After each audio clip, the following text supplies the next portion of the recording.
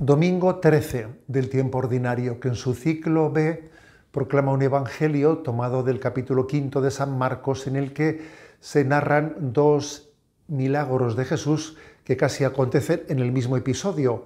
Uno de ellos es la resurrección de la hija de Jairo y otro es el de la curación de la mujer hemorroísa. Bueno, pero me quiero fijar en un detalle, voy a partir de aquí, de un detalle que podría parecer mínimo, nimio, insignificante, pero que puede ser muy luminoso. En este Evangelio se recoge una palabra dicha por Jesús en arameo. El momento en que va a resucitar a esa niña de 12 años, la hija del jefe de la sinagoga, Jairo, le dice talita kumi. ¿Por qué digo que es importante este detalle? Porque el Evangelio de San Marcos recoge únicamente cuatro palabras que salieron de la boca de Jesús en arameo. Sabemos que los evangelios están escritos en griego, pero Jesús hablaba en arameo.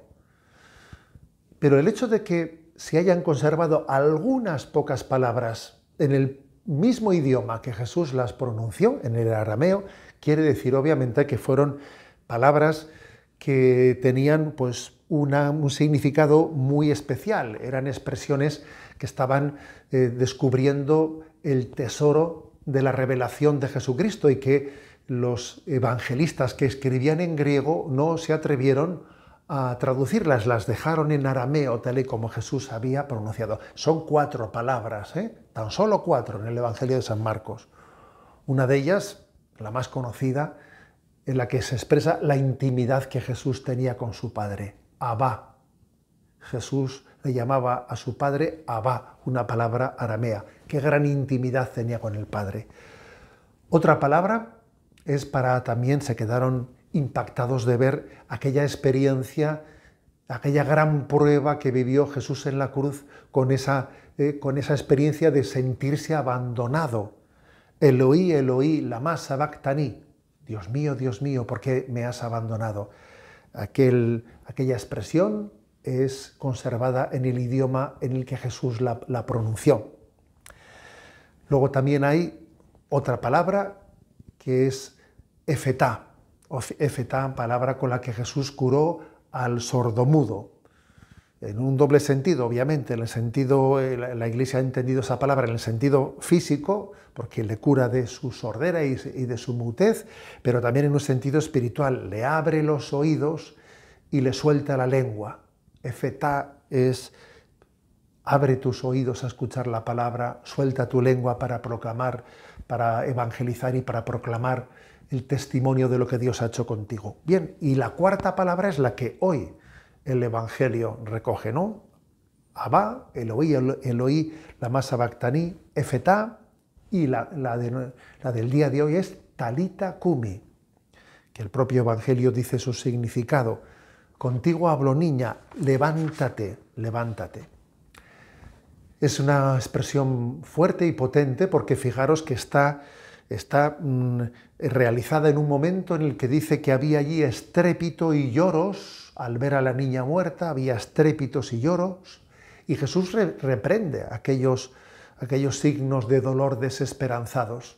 Jesús también había llorado ante la muerte de su amigo Lázaro, pero hay lágrimas que son de dolor y lágrimas que son de desesperación. Y Jesús en ese momento corrige aquellos signos de dolor desesperanzado. ¿Qué estrépito y qué lloros son estos? Dice Jesús, ¿no? Y luego añade, la niña no está muerta, está dormida.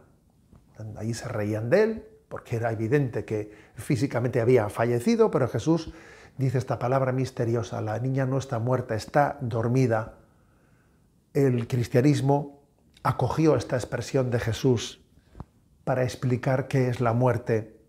La muerte es dormir para luego despertar.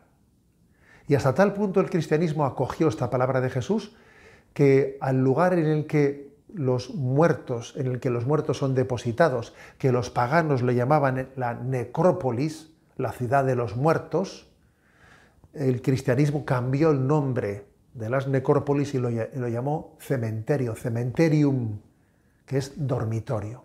Fijaros bien. De esta expresión del Evangelio de hoy, la niña no está muerta, está dormida. el cristianismo cambió el término con el que designa el lugar en el que los muertos son depositados y le llama dormitorio. Está dormida, la niña está dormida. Nosotros enterramos a nuestros difuntos en el dormitorio, en la esperanza de la resurrección. Es decir, el cristianismo añadió a la fe de la inmortalidad del alma, porque esa fe ya era compartida pues, con los griegos y con muchos más que creían en la inmortalidad del alma, pero el cristianismo le añadió la esperanza de la resurrección, de la resurrección también de nuestros cuerpos. Por lo tanto, esa palabra, talita kumi, a ti te digo niña, levántate, está llena de fuerza en el momento en que acontece esa resurrección.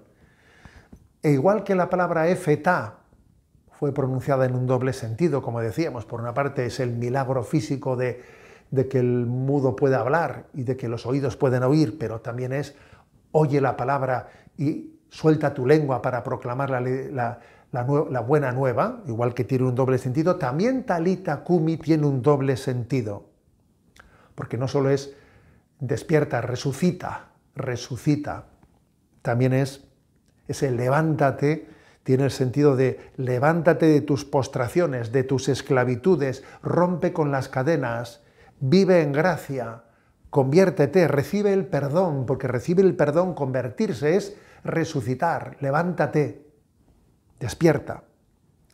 Y esto que estoy subrayando está remarcado por el hecho de que en estos dos milagros que hoy se proclaman en el Evangelio, el de Jairo, la resurrección de la hija de Jairo y el de la hemorraísa, en los dos episodios se ve como, como ese, ese levántate, muévete, muévete, recibe este don de Dios, pero transfórmate para poderlo recibir. Se ve como Jairo, también que es el jefe de la sinagoga, sin embargo se ha se ha olvidado de su, de su significación social como jefe de la sinagoga y se ha bajado a pedirle a Jesús la sanación de su hija. Y esa hemorroísa, que era una mujer que lo que quería era pasar desapercibida, que nadie no quería en absoluto, ¿no? hablar en público, etcétera, pues Jesús le prueba quién me ha tocado y le prueba para que ella dice abochornada, avergonzada, allí dio testimonio de lo que Jesús había hecho en ella, es decir, Jairo tuvo su transformación,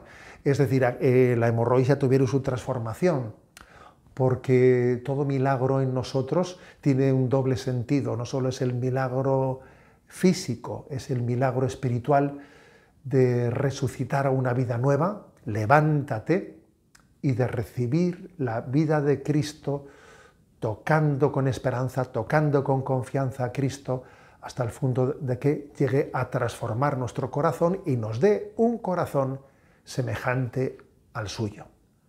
La bendición de Dios Todopoderoso, Padre, Hijo y Espíritu Santo, descienda sobre vosotros.